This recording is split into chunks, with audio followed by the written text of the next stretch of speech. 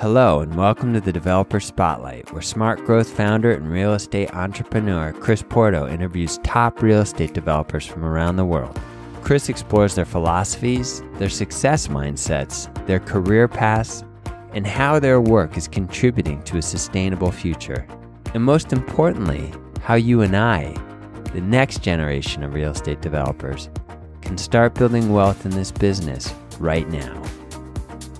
In this episode with Kevin Cavenaugh of Guerrilla Development out of Portland, Oregon, we talk about a whole spectrum of topics that people are going to really enjoy. Kevin is a, a, lifestyle developer, as I would categorize it in the truest of senses. He is doing some hyper creative projects up in Portland, ranging primarily in the office retail space, but also emerging into residential development and all the way to something fascinating that I learned, which was more uh, his effort to address homelessness. So the amount of creativity that Kevin is bringing to the table is something very enviable, and he's really paving the way for a new type of developer to emerge in this next generation that I actually feel uh, very much an affinity for which is those smaller scale developers that are looking to make local impact in their urban environment and build wealth doing it, but not at the expense of their own personal freedom and expression. And that's something that I think everybody, as they hear Kevin and visit his website to see the projects that he is taking on, will really get in a real way. So I, I hope you enjoy the interview that I know I did. Welcome, everybody, back to the Smart Growth Developer Spotlight. Uh, my guest today is Kevin Cavenaugh of Guerrilla Development out of Portland, Oregon. Uh, I just met him uh, not too long ago uh, on a uh, Urban Land Institute uh, experience trip up to Portland to see what was happening. And Kevin was a developer that stood out to me as someone really walking the talk uh, in a very authentic way. And uh, I knew that I had to interview him for this podcast sooner than later. So I'm very gracious to have him uh, with me here. I'm going to throw it over to Kevin and uh, he'll give us a little self introduction. Kevin, uh, over to you. How's it going, Chris? Thanks for thanks for calling. Thanks for kind of scraping the the, the, the bottom of the of the low tech barrel and, and calling me on my landline. Um, so yeah, uh, trained as an architect. Went to uh, school at, at Cal, got my mm-hmm. degree there. Um, bought a house in Sacramento because I couldn't afford a house in the Bay Area, and I wanted to, you know, understand architecture from like ripping the walls out and and the construction side of it. I also wanted to understand the math behind the the development side mm-hmm. of owning a house and what that looked like. So I started small and knew I always wanted to be a, a developer eventually. Um, a couple of years in the Peace Corps in Africa, building more uh, homes and, how, and, and schools.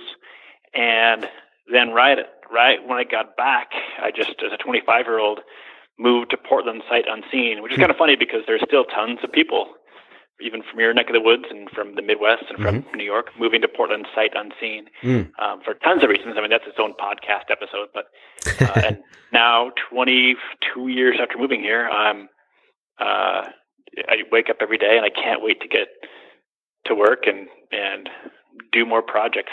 That's so awesome. It, it's pretty damn fun. Yeah, I mean, so uh, I'd love to dive into your story a little bit more uh, in depth uh, because okay.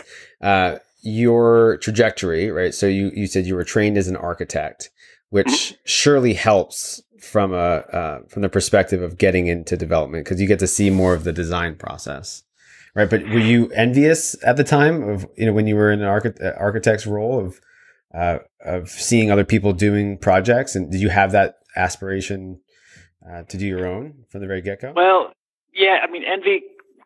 Yeah, um, loathing. Yeah, there's lots of words that you could use in there. It's I hated being uh, at the the at the big table, but I had a kid chair. Yeah. You know, architects are we're it's a service industry, and yeah. we have a we have clients and and we draw what you ask us to draw or tell mm. us to draw and we might have some really compelling ideas but either I'm selling you deeply on my ideas, and if I don't understand the math behind your that's working in your brain, mm-hmm. um, and usually I don't, those ideas never get traction, and I get minimized, and then I'm left at best arguing, Philip, God, please can we at least not put vinyl, shitty vinyl windows in this building? Mm-hmm. So it's a pretty passive um, and uh, impotent role mm-hmm. in, in, as in, in, the built in the built environment. We, hundred years ago, two hundred years ago, uh, designers, architects had a much more prominent seat at the table, and now we just don't. And I realized that even getting into college that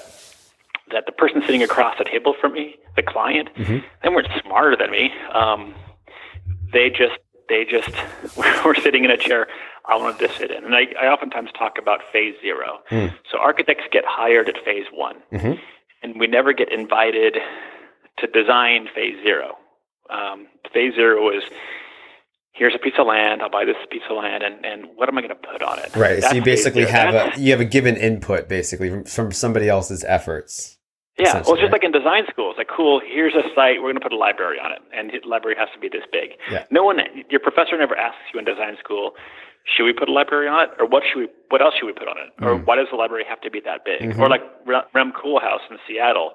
Seattle let him reinvent the library and didn't tell him it has to be X square feet. It mm. has to be, you know, these kinds of books have to be housed in this kind of way, and he completely reinvented the library because he got to own phase zero.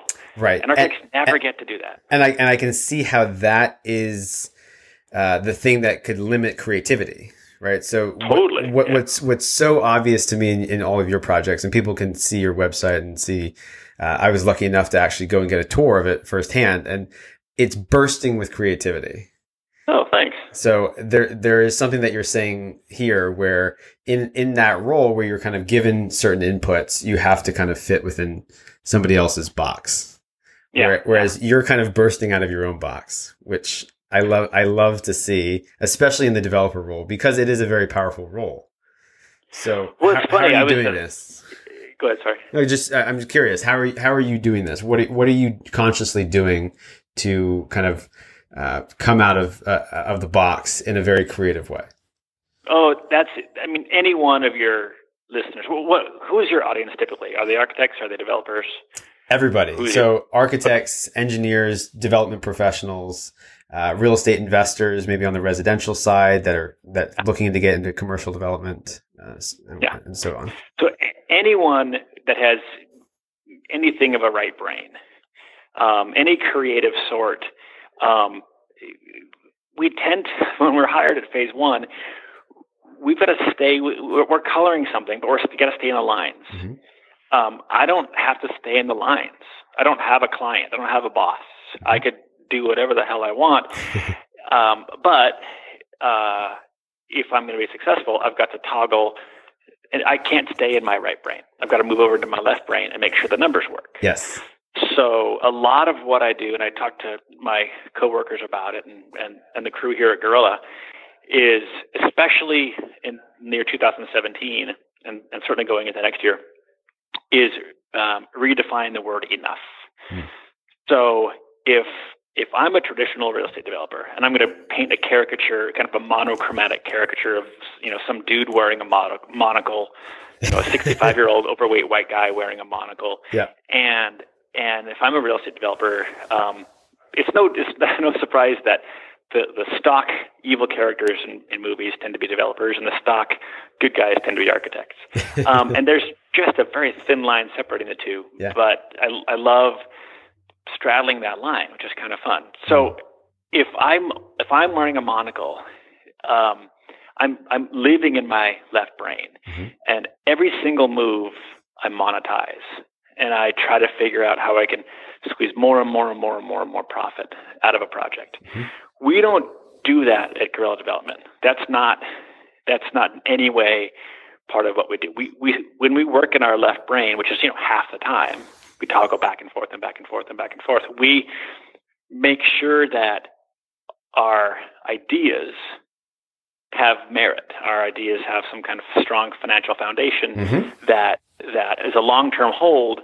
We're making good money. We're making enough money. So we, we, we love redefining the word enough right now. So what is a you know, I, I, a 20, the zipper, you walk through the zipper with me. Yes. The zipper's, I think, offensively profitable. It makes 23% per year over a 10 year lifespan. And maybe you can give a, a, brief just synopsis of, of what the, uh, the zipper, your, one of your projects, uh, is in its essence. Oh, sure. So the zipper is a seven unit, uh, all pure commercial, single story wood frame building, new construction on a little leftover triangle piece of land on Sandy Boulevard. Sandy Boulevard, what city are you in, Chris? I'm in Oakland. Okay, in Oakland. So what's the, so maybe it would be like East 12th Avenue, mm-hmm. you know, so it, wherever like all the used car lots were in the 70s and 80s, yep. every city has that. So Sandy Boulevard in Portland is that street, and it's pretty gross. There's nothing that compelling to it. But I got a little triangular piece of land rather inexpensively. I think it's like a 10,000 square foot piece of land. And I put a single story piece of new construction on it. It was the old used uh, Cadillac, Vic Alfonso used Cadillac parking lot. So I bought it for $600,000 and I built um, a building really inexpensively. Mm-hmm. And it was my second micro restaurant project. So four of the seven units are micro restaurants. So there's a ton of food carts here in Portland, 600 or so, mm-hmm. and there's a ton of restaurants, but there's nothing in between. Mm. So I, I, a food cart costs $25,000. I, I did the Ocean, my first micro res- restaurant project, and my tenants were spending about fifty to sixty thousand dollars for their build out. So they okay, sell so their good, cart. good step up. What's that? That's a good step up.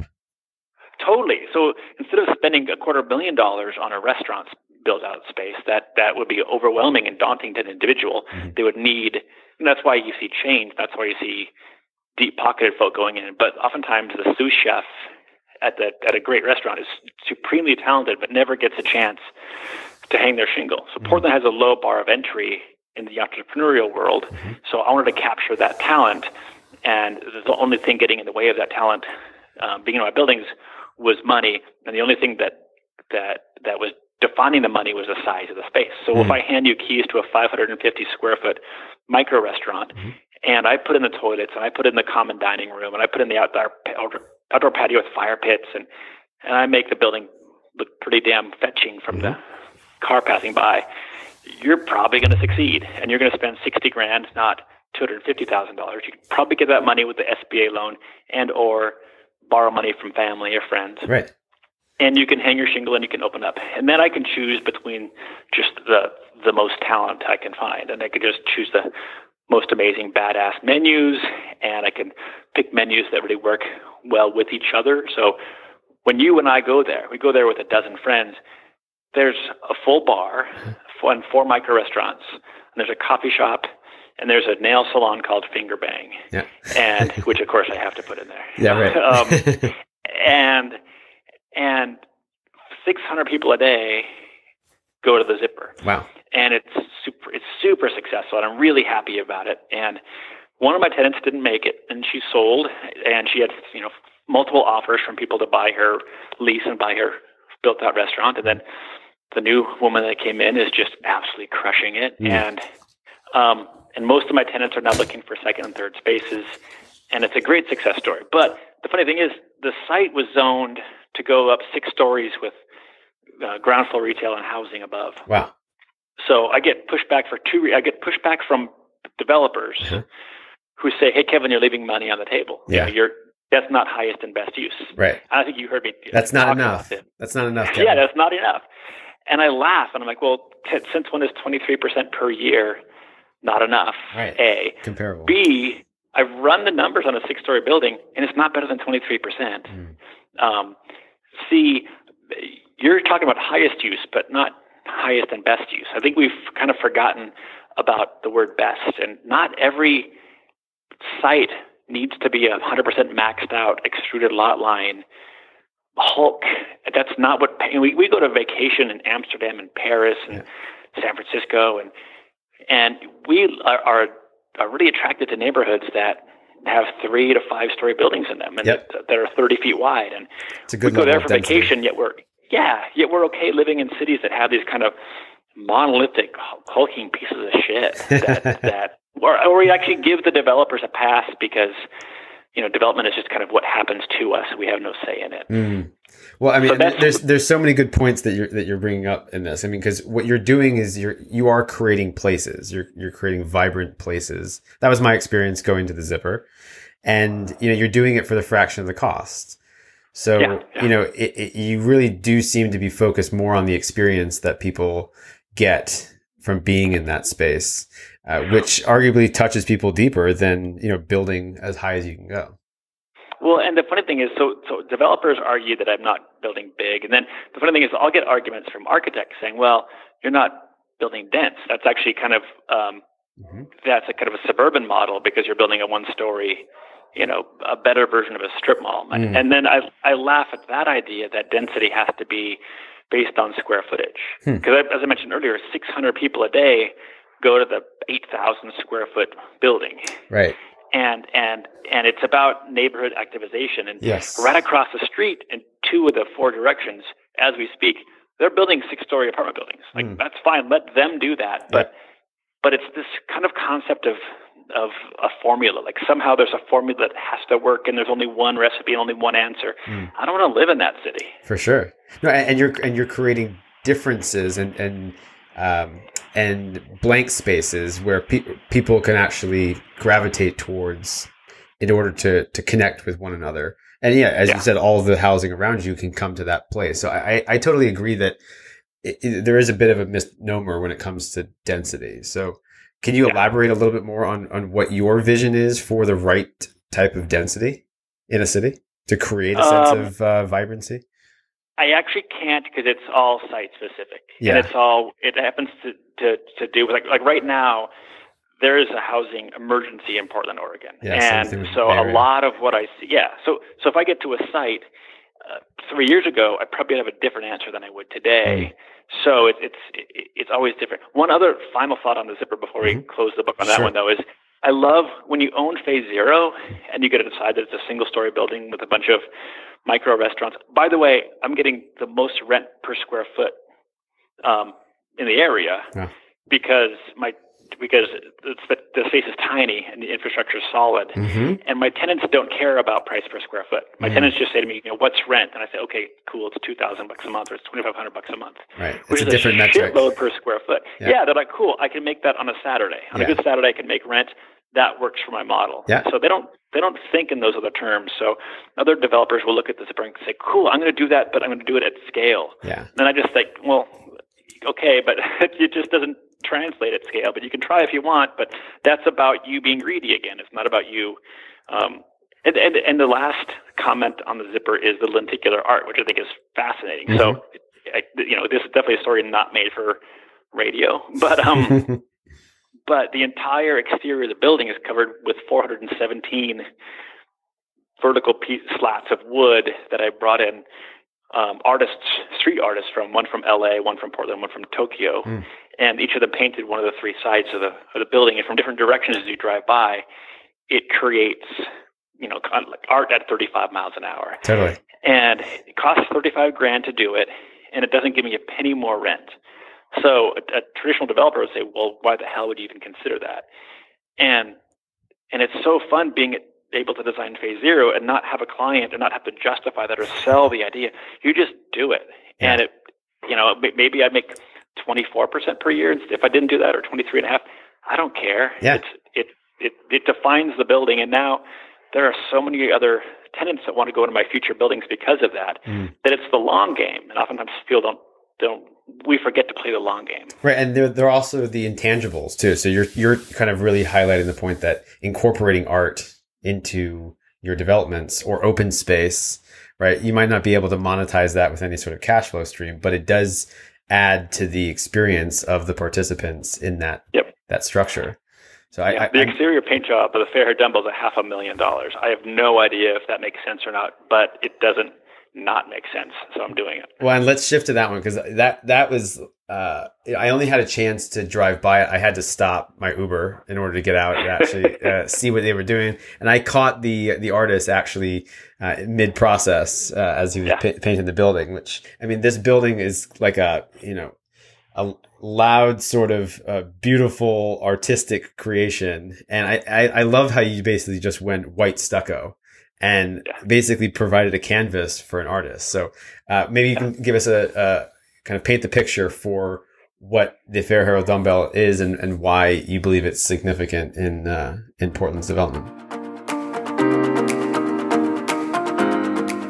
Hi, everybody. It's Chris Porto here. I just wanted to take a minute during this interview to interject and share with you a little bit about a new and exciting program that I've just recently launched called the Developer Academy. The Smart Growth Developer Academy is designed to provide anybody who is interested in stepping into the role of developer or scaling up their business in real estate already to get involved in this particular type of development that I and uh, many other people are promoting in this movement towards smart growth.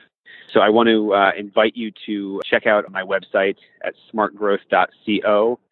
And uh, if you check on the services section, and you'll see the Developer Academy on there. It's an eight week program. Uh, you'll basically get taken through step by step all the processes that I go through each and every time to develop real estate in my local market with a triple bottom line result financial, social, and environmental. I really believe in what's happening in this program. I already have about 20 students going through the, the first iteration, the first cohort of this program, and know that everyone is getting a lot out of it. I'm also providing a lot of resources to my students, uh, including the financial models, the marketing campaigns, and the legal contracts necessary to actually start making money in this business by creating impact, most importantly. So thanks so much for listening. I will go right back to the episode, but I, I just wanted to share with you and let you know that there is a way to continue your engagement and interest here and, and really dive in as a developer. So just to remind you, the URL is http colon slash slash smartgrowth.co check out the website. You can see what else that we're doing uh, beyond the Developer Academy. But I highly recommend you checking out and seeing if the program is right for you.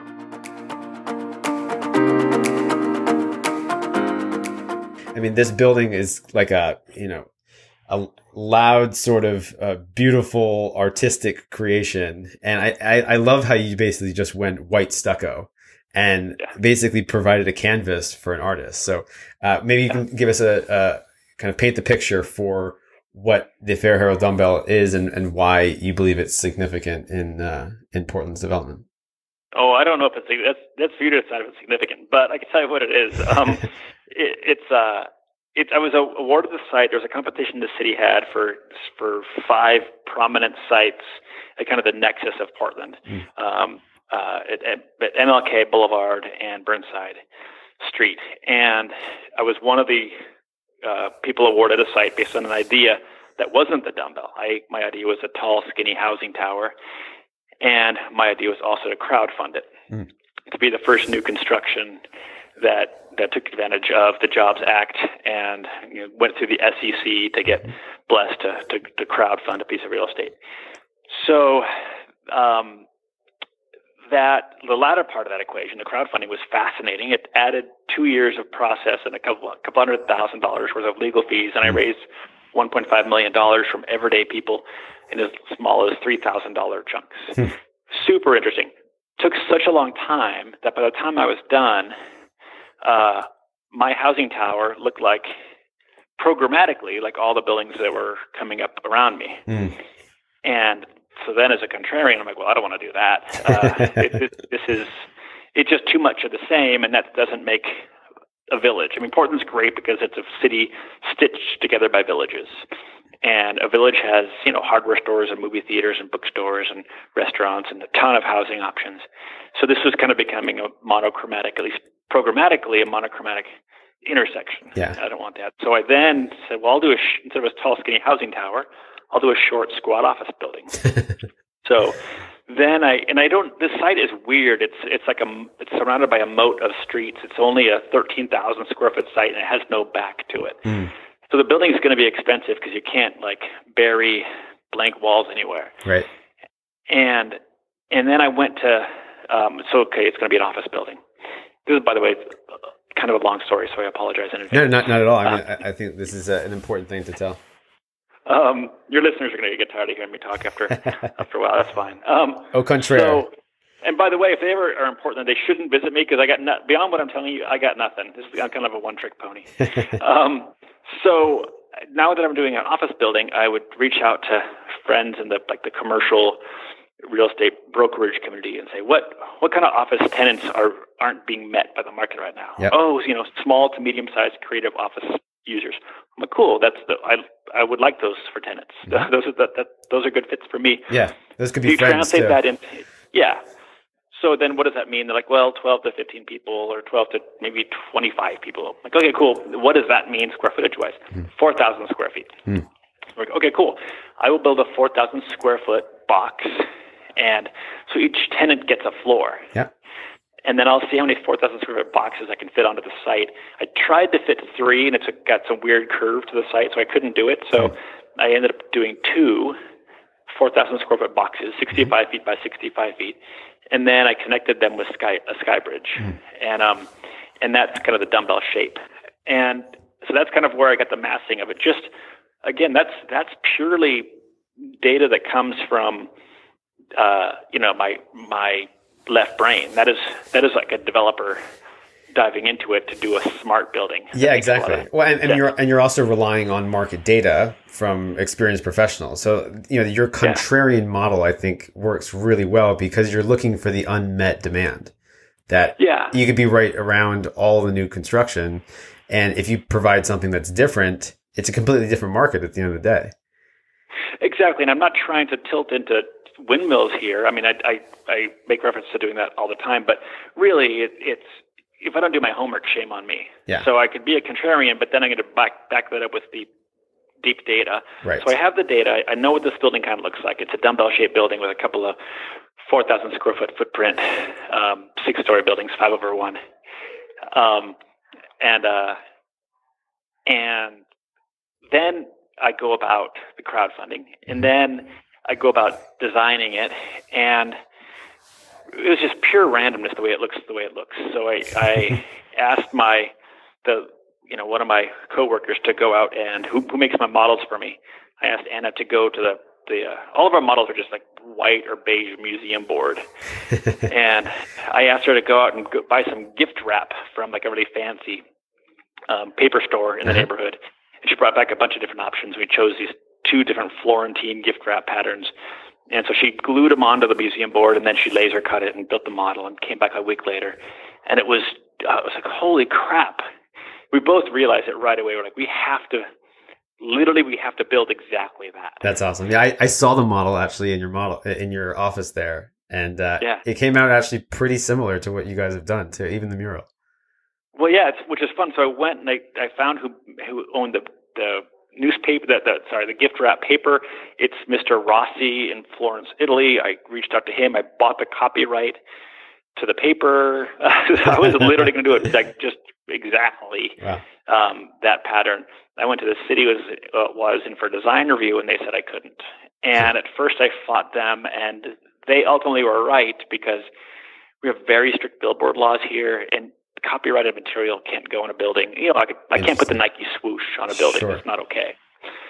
So it had to be original art, and then I, I was part of a selection committee that went around and identified 60 international artists, um, and we got down to four finalists with the intent of doing something that fit the same adjectives as, as, as that gift wrap paper. You know, whimsical, colorful, vibrant, dynamic, um, crazy. Uh, Does that descri- does that describe your your personality? Would you say too? no, I doubt it. You can ask my wife. I don't think so. Um, um, no, I mean Portland is a is a gray city with gray streets and gray skies, and our buildings are kind of safe, which is surprising because culturally we're not a safe city. We're we're kind of out there and we're fun and we're we're like the Portland's that that more describes Portland, you know, vibrant and colorful and whimsical and keep Yeah. Portland weird. We, you know, there, there's a phrase called "keep Portland safe" or "keep keep Portland gray." Yeah, right. Um, keep Portland mocha and sage green and beige. That's not a bumper sticker. So the fi- the four finalists were from Portland, Oakland, Los Angeles, and Buenos Aires. We flew them in into Portland, gave them blank white models, toured the site, and said, you know, come back in two months with your idea. and these were all really compelling artists in their own right. Um, And they came back in two months, and we kind of debated it, and and we ended up with James Jean. It was almost a unanimous decision, mm.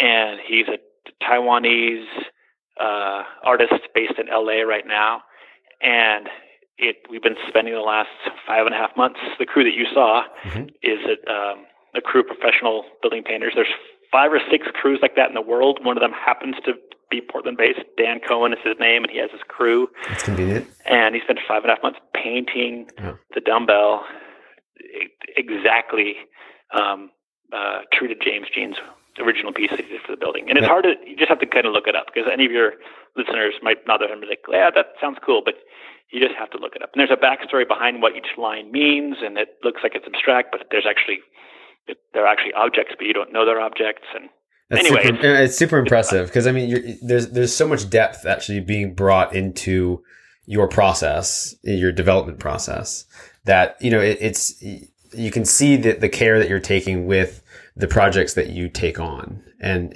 I think many developers, as, as we've been kind of alluding to, see more as better, right? More more projects, just churn them out and they probably don't focus more on, you know, the moment and, and, and that project and making that project the best that it can possibly be and how it can make a statement for the world because they're already kind of looking ahead to what's, what's next after this one. Yeah.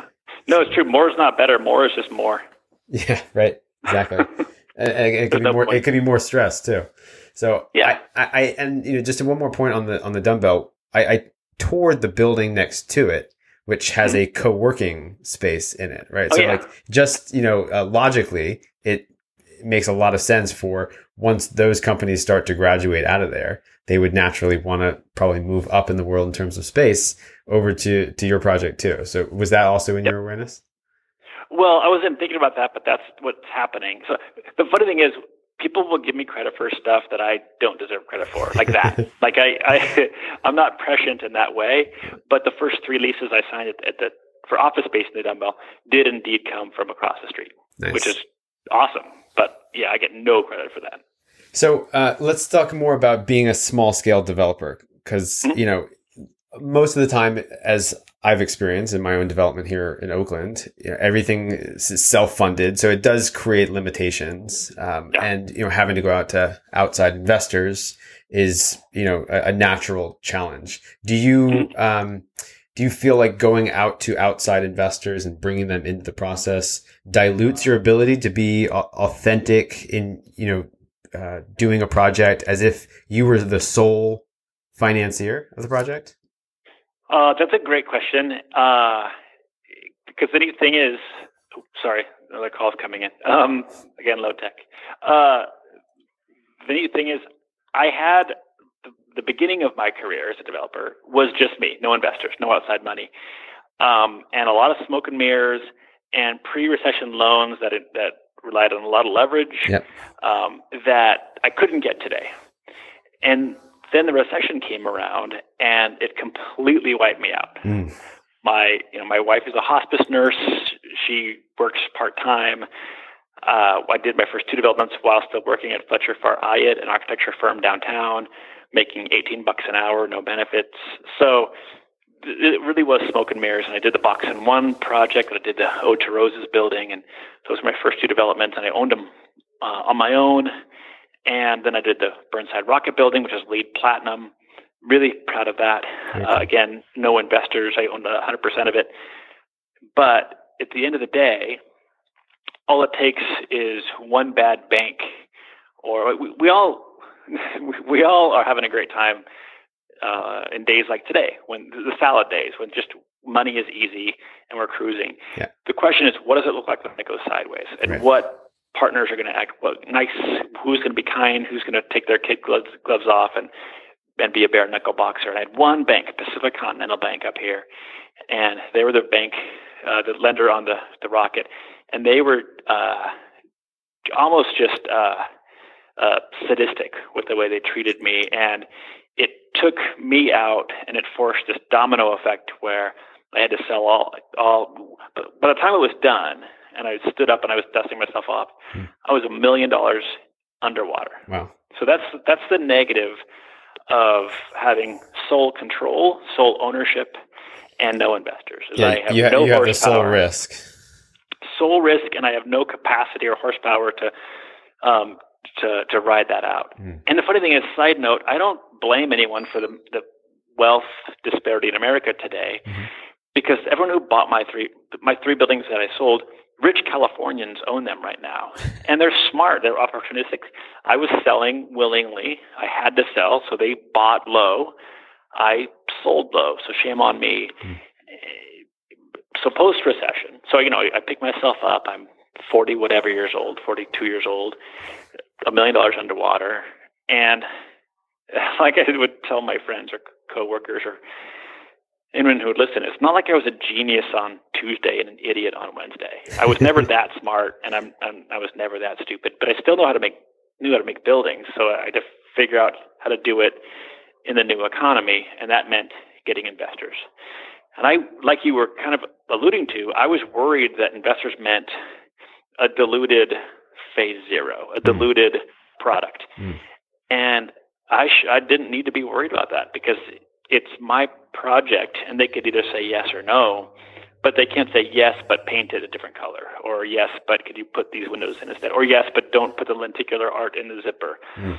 They get paid first, I get paid last. hmm So, and they trust me, and they have to trust me, and I'm not willing to do it otherwise. Um, and it and it's great. It, it is the most frustrating part of what I do is finding enlightened capital is what I call it, Sure. and finding rich people who want to give me, you know, quarter million dollars, half million dollars. And full control. it sounds like right. Exactly, That that's kind of. Yeah, what that's what you're highlighting, right? Yeah, so so you are if you give me a half million dollars tomorrow, you you have to shut the hell up and sit in the passenger seat. Hmm. And you get paid first and you get prioritized over everything else. Yep. And I treat you really, really, really well, but you have no say in tenants, you know, uh, uh, aesthetics, design issues, anything. Um, but your check comes religiously Yep. and it never stops Nice. and it only grows with time. You know, you you get eight percent preferred dividend, uh, and you get paid quarterly, and it never goes below that. How about how about the major capital events? Like who gets to who gets to decide who sells? Do you do you give that control back to the investors, even though it's your baby? So that's actually really important. Um, I need patient capital, and and over the last I don't know four maybe five years, any building that's getting put up in town, it's assumed it's going to sell the, the the second the final coat of paint is dry, and I don't ever do that. I view these as really boring long-term annuities, and you know the the zipper is a good example, or even the the ocean. The ocean is five years old. It's my first post-recession project, so more like six years old, and it's a pretty boring little adaptive reuse. Again, more micro restaurants. It's super lucrative. It, the investors, there's three investors. They didn't put in a whole lot of money that wasn't much needed, and they have a eight percent preferred return. Mm. Took me three years to for me to get any money.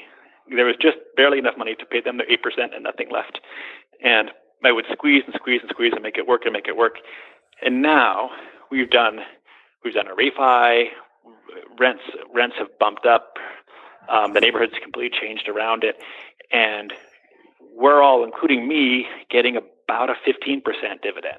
Beautiful. And and it's never going to, you know, unless you know a bird flu or a dirty bomb hits, it's never going to go down from that. hmm So I want investors who don't want to flip anything. I think flipping is a that's just a shitty verb. Yeah, I, I totally agree, and, and and it really forces your back up against a wall where you you actually, in my opinion, create more risk for yourself because you're relying on a market exit as Yeah. opposed to refinancing it and cash flowing it long term, as you said, like a long term annuity, just in the form of uh, of a real asset.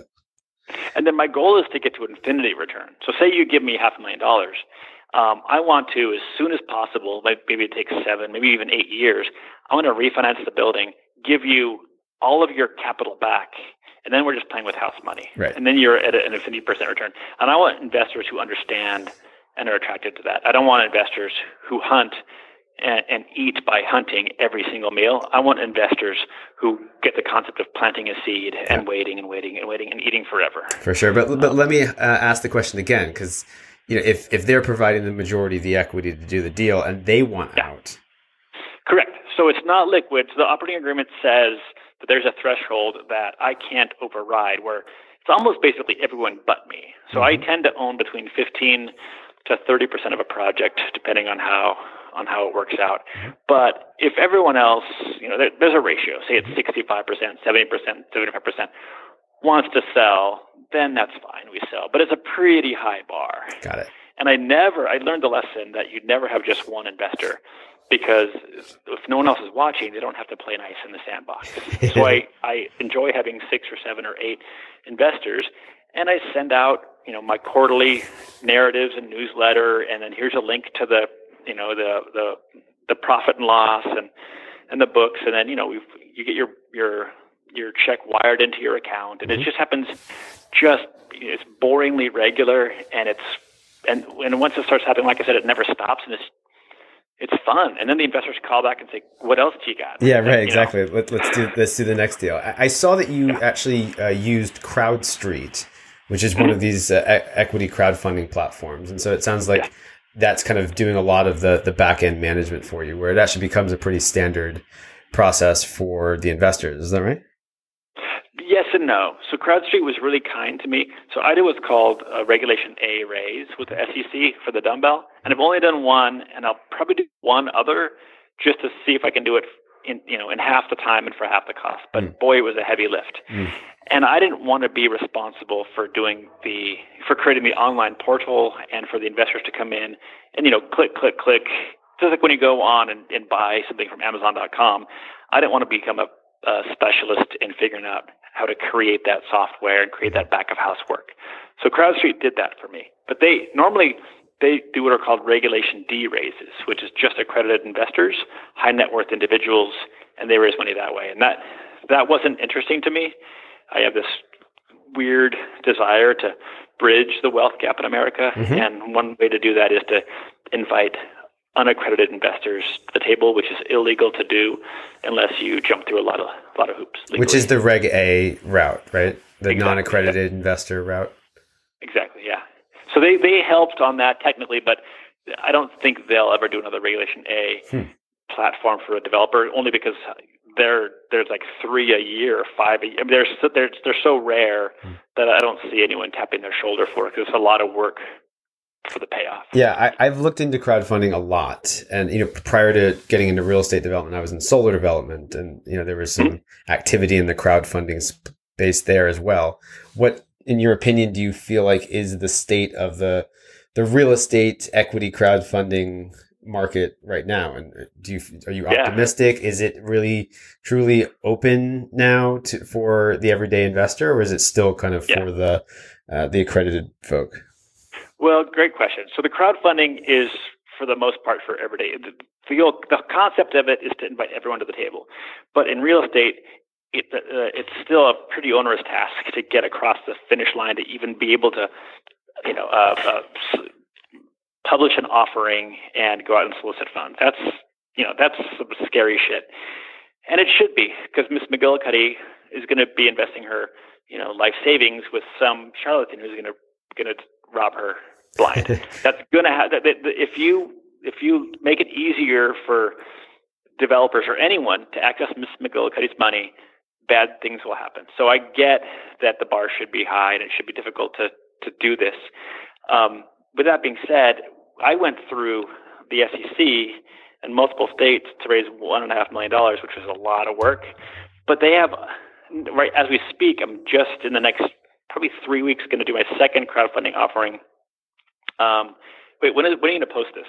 Uh, oh, it uh, doesn't matter because next week. Yeah, when are you going to post this? Okay. Mm, I wonder how much I can say about it. Um, or in a couple. I probably already, maybe I already broke the law. Damn it. Um, they have, regardless of what I'm going to do, what I'm more interested in is what are called uh, OIOs uh, or or or interstate offerings.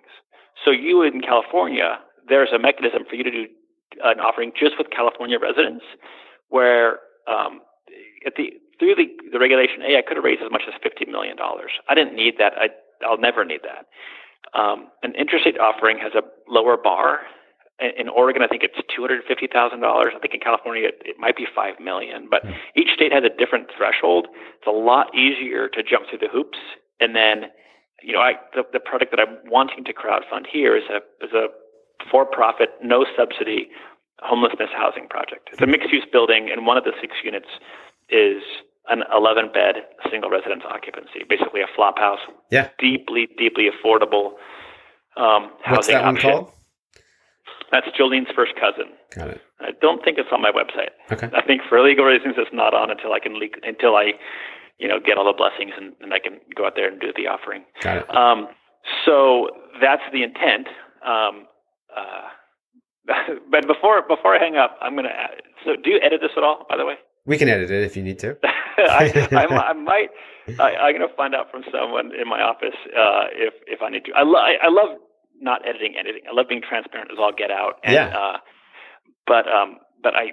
But we'll see. Before we before I hang up, I want to ask her if I'm going to need sure. you to edit any of this out. Yeah, no, if if, if absolutely. if this is if I if I don't have to edit it out and your listeners get to hear this kind of um the whole thing unedited, that's pretty awesome. So Well, and what's Uh, really, what's really cool is that I mean, you kind of you do kind of live an unedited life, but you know there are certain things that you have to you know moderate for the audiences that you know you're you're facing. You're still a developer at the end of the day, and you still have Yeah. interests of your own and of your investors that need to Yeah. be protected. So Well, if I do something that that keeps me from doing it again, then I'm an idiot. Then shame on me because at the end of the day, on my deathbed, I'm not going to wish I had more money or a bigger yacht. I'm going to wish I, you know, uh, there, there will still be drawings and drawings and drawings of unbuilt projects. So um, I just don't want to make any mistakes, which make it harder for me to do the next project. I want to do 20 little micro homelessness housing projects and have them pepper the entire city because that's how traditionally um, the the abject poor have been dealt with, not not you know three thousand people living in a tent city out by the airport, but instead, uh, you know, the entire population takes on little bits and pieces of of of everybody, of everybody's needs. And that's how Northern Europe does it. That's how all the success stories do it that way. Yeah. So why the hell can't we? So let, let's get into that a little more. So you, you really you have a, a pretty sincere aspiration to help the homeless problem of of Portland. Like, are you Sure. uh, you're positioning yourself as kind of someone to reinvent homelessness or or how homelessness can be solved through real estate projects? Well, that sounds too grand, but yeah. So I, I, as much as my smooth brain will allow, I have been trying to figure out how to do some deep housing affordability. And in a perfect world, I do it without subsidy, not because I, only because I'm, I, I don't have the patience to be at a table with 18 people and do pri- public-private sector work. And um, I am a small, nimble developer, and I want to do a lot of slap singles to right field, get on base, and then just get up to bat again. So, um, so uh, I figured out at least on this first project that it can make money. It's not it's not amazing money. It's not zipper like money, Mhm. but it's neat to be able to do, and it's subsidized internally um, through two mechanisms. A, it's subsidized because it's not it's it's one of six units in a mixed use project, Mhm. and the other five units I want to get as much rent as possible. Hmm. So that's a way to kind of internally subsidize the project in the pro Mhm. forma. A, B, I want my investors to know that you know this isn't the product we're getting rich on. This is the product we're changing the city on. So if you want to jump on board this transformational project, which is this tiny little, I mean, it's a it's if you drove by it on your tour, you wouldn't it wouldn't be remarkable in any way, shape, or form to you. Was this It's the one? neighborhood. uh, was this the one next to your office? No, that's that's that's an a housing experiment, which is housing for social workers, but it's it's not dissimilar from that. But the one next to my office will be a big bold building that I'm proud of. This other one is going to be just fit into a little pocket um, lot in a neighborhood that has to be the best neighbor ever. Um, and I, so I can do it over and over again. So there's no deep NIMBYism that derails it because I want, I, I desperately need for the first one to be a, you know, arousing success. So there can be a second, third, and a, you know, 15th and 16th down the road. For sure, like, kind of like a pilot project. Mhm. That's exciting. So, um, one of your successes, or one of your recipes for, for success, in my opinion, is that you've partnered with a lot of uh, local operators, and I and I love how you actually highlight them on your website too. Like, you know, the, Yeah. pe- the people that are actually making the spaces and the boxes that you're creating into a live happening, you know, events. Yeah. Uh, so talk to me a little bit about how, how you've approached finding other people to work with uh, as, you know, them as operators and you as their kind of developer. Yeah, no, that's that's the fun part. So I maintain that I'm I'm pretty good at, at making good buildings. I I've got that skill down. I can make good buildings. I, I don't make great buildings. Um, from a design standpoint, the zipper's probably you know a little bit better than good, and the Fair-Haired dumbbell would is trying to attain greatness, but it, on its own, it's not great. And everything else is you know really good. Proud of it all. Mhm. But if I ever get a great building, if New New Crusher Court or the Two Thirds Project or the Tree Farm, if they're if they're viewed as great buildings, it's, it's because the tenants turn good buildings into great buildings. And I'm and I'm not just being humble with that. That's just a fact. It's Mhm. it's it's about the the human scale, the human capital, um, the social capital that's interwoven into a building. So I, I definitely eschew franchises. I definitely uh, don't want a Starbucks uh, in in any of my buildings. Uh, and I'm at this point now. I don't know how to start, so it's tough to give advice to any budding developers. But now that I have, you know, right now I have 42 commercial tenants, and I've got another six products on the on the boards with another probably I don't know 50 commercial tenants that'll fill those buildings up. I've probably identified half of those 50, mostly because of the 42. So I will go to in my new new Crusher Court project where my office is. I need a lot of creative offices in the dumbbell, creative office tenants. So I'll go to Half Court Studios or Studio Mega or the Beauty Shop or these kind of cool creative agencies. They're way cooler than me, by the way. I mean, I, they're super. They're like the. You're they're the pretty. You're kids. pretty cool, Kevin. Uh, I have to say. Well, that's nice, but I but if you that's awfully nice. But if we walked into the other spaces, you would realize that I don't know who the next generation is. I don't know who this you know on the office side who the new Studio Mega is or the new Half Court Studio is. Right. But Your, they your do. finger's not necessarily on the pulse. You have to rely on on the other people that are kind of part of that creative class, right? Correct. So I go to them and I say, hey, you get a month of free rent if you just if your introduction to to the to the younger version of you or the new version of you or the parallel version of you ends up in a signed lease. You know, you get a you know free month of rent at least, and if it's like a big lease, big space, you know, two months, whatever it takes, whatever makes you happy. But mm-hmm. But you're really happy here in the New Crusher Court, or you're happy as a restaurateur in the Zipper. I don't know who the new sous chef in, in town is, but you likely do, and I'm happy to cut you a big fat check just for an introduction. If the introduction turns out to be something compelling, game on. And that's the best way to fill my buildings I've found. Yeah. Um, I've the dumbbell is the first building I gave to a, a commercial broker who put their big sign on the in the window and on the top of the cornice of the building with their you know phone number that you can read from across the river and their name on it. And they've had that up there for eight months. Hmm. and I don't have one tenant from them on the dumbbell. And I Oh, feel wow. bad for them because you know that's like a suit talking to other suits. Yeah, the two corporate. Yeah, and that's just not who I'm going to get, and that's not who's drawn to the building. So I hired the Beauty Shop, which is an ad agency two doors down from my office here, and they're tenants of mine. And I'm like, can you just create a website and just brand the shit out of that building and turn it into something that's like people are buzzing about? Mhm. Most folks thought it was an, an apartment building. Mhm. People just didn't know what it was because it looks so weird. So I have, I was, I'm talking to you now. I've got seven tenants, and they're about six weeks into their campaign, and they all came through them. And the funny thing is, there's a budget for over three hundred thousand dollars to give to a, a broker to lease it. Right now, I think I've spent seven thousand dollars Oh wow. to to fill up a third of it. That's So gotta be that's gotta be that's gotta be pretty compelling. But you can't buy social capital. I mean, you've kind Yeah, of you've kind of found a way to source that kind of emergent creativity and and the cool people that are doing cool things.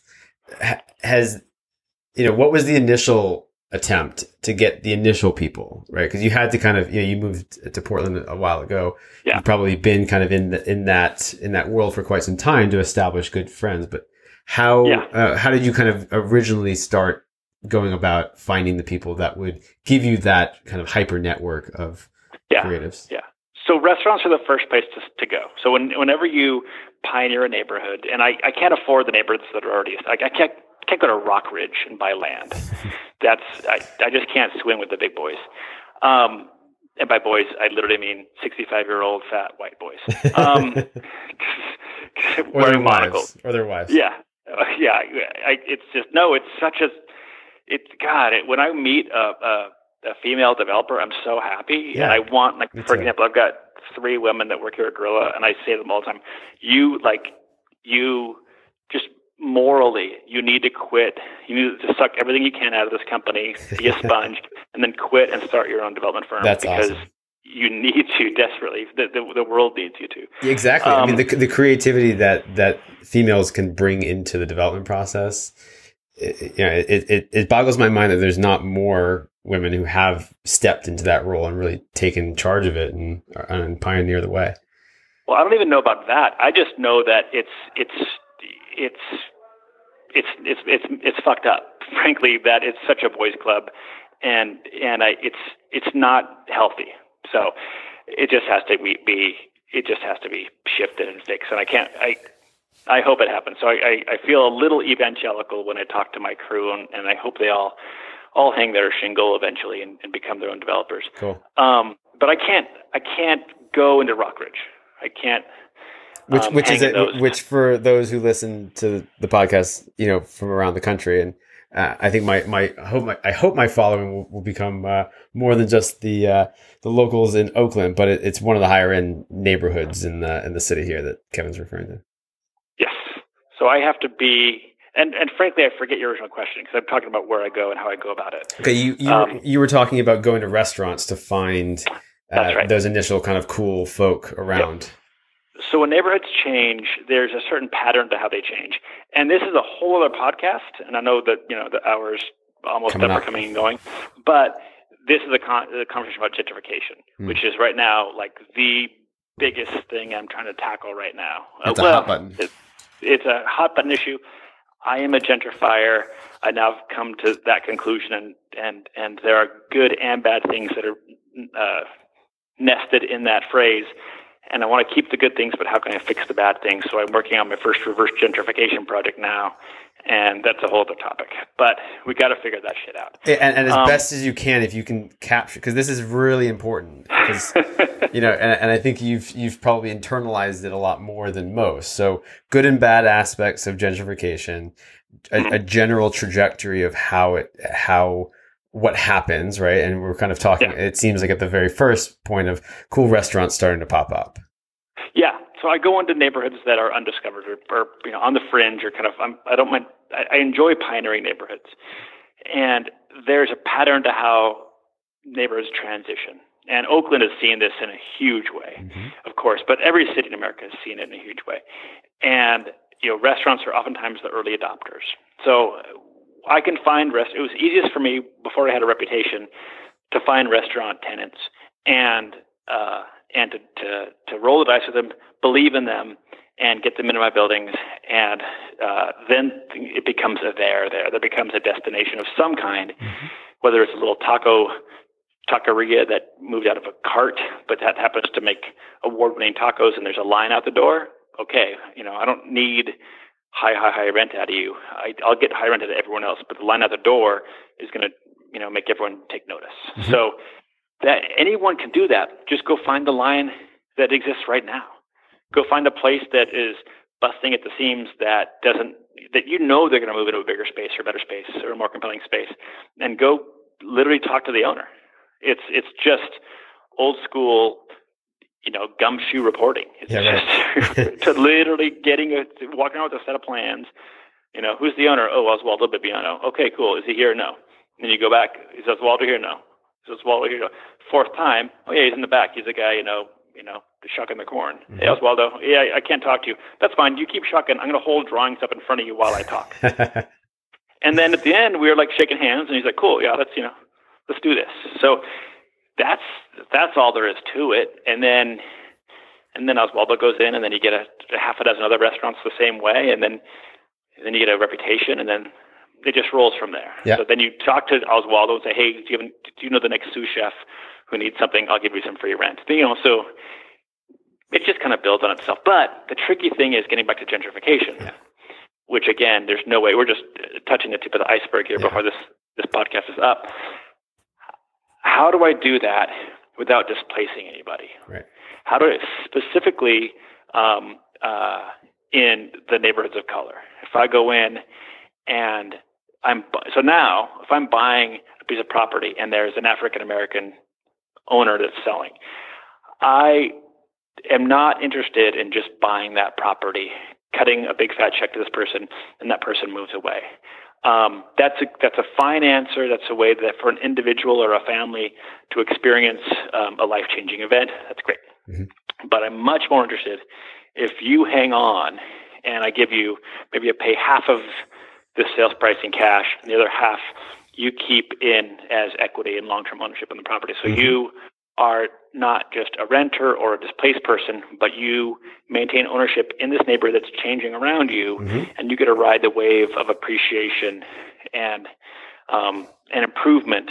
And that's a there's a nice monetary uh, uh, uptick yeah. that that you enjoy. So I'm just not asking you to go away. So that's a that's one part to help to kind of um, not reverse gentrify, but but kind of change the, the ebb and tide of gentrification. Another way is to specifically find tenants. If I'm going to internally subsidize a project for homelessness, for example, well, I can use the same math to internally subsidize a project. Um, I can't choose you based on race or any of the other protected classes. That's illegal. I can't mm-hmm. say here I'll give you cheaper rent if if you're Mexican American. Mm-hmm. Um, but I can say if you can show me that 50 years ago, um, you had familial ties to this neighborhood, to this zip code, whether it be with phone records or anything, mm-hmm.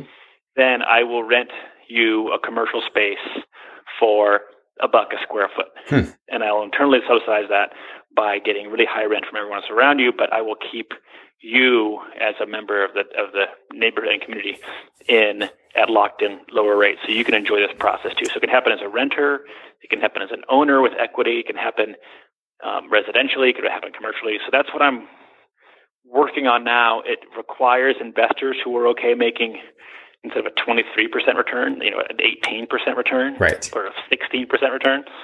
And, you know, if I tell this story, my impression is that there are a lot of people who would happily make you know a 16% return and it's not a big piece of their net worth. Mm-hmm. you know if they cut me a 100 grand and they're worth you know 10 million or 20 million it's a rounding error.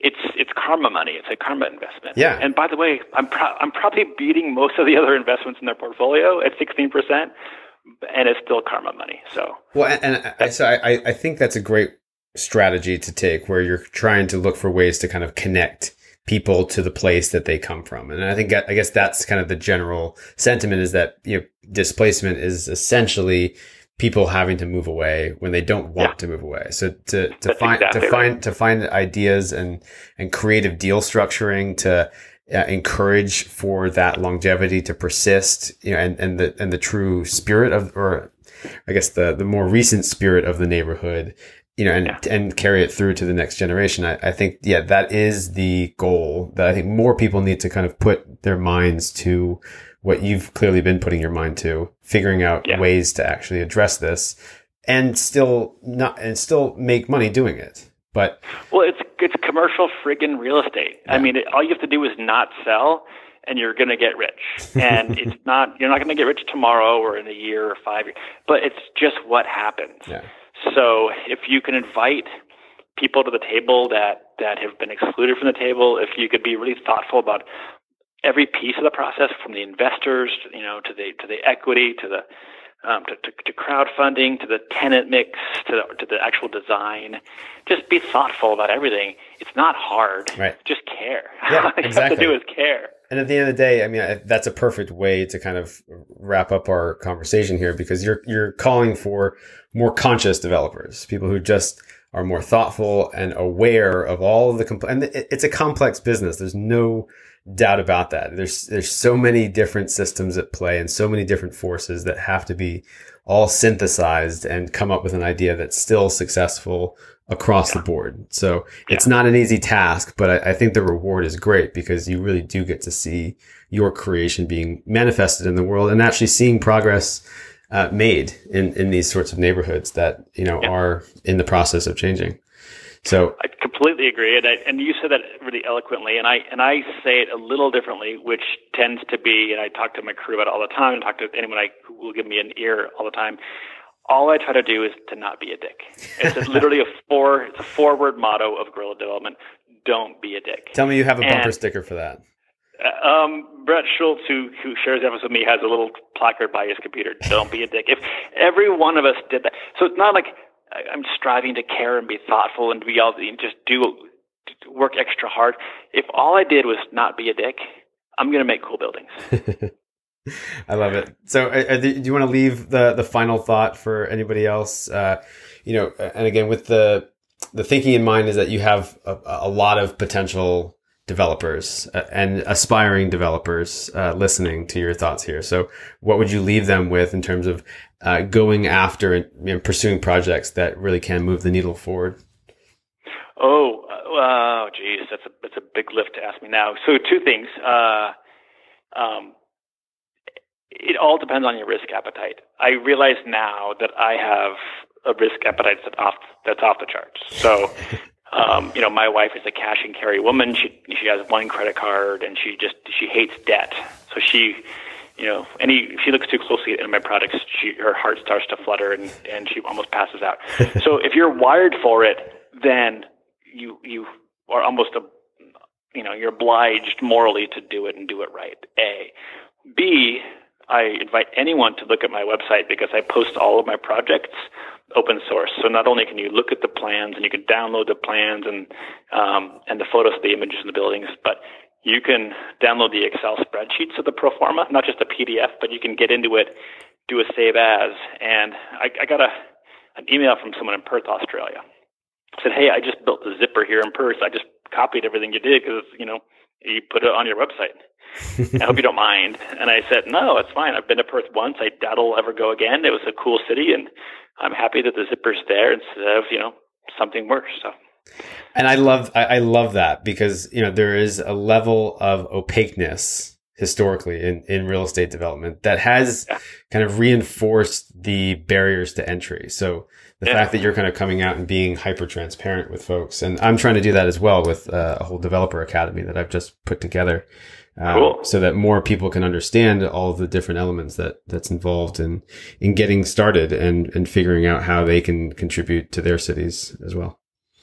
Well, good job. That's, so, that's awesome. Thank you so much again, Kevin. I, I really appreciated the conversation. We touched on uh, a lot of stuff. So um, uh, I definitely point people again to your uh, website, guerrilladev.co, and mm-hmm. Uh, check out what you're doing there. And uh, I look forward to uh, staying connected in the future. Thanks, Chris. Good chatting with you. Great. Yeah, you too. All right. See you. Thanks. If you enjoyed the show, the best way you can support the Developer Spotlight is by leaving us a rating and a review on iTunes. That's the best way to help new and emerging real estate developers discover the show. And finally, if you're a new or aspiring real estate developer, go check out the Smart Growth Developer Academy over at smartgrowth.co. That's smartgrowth.co.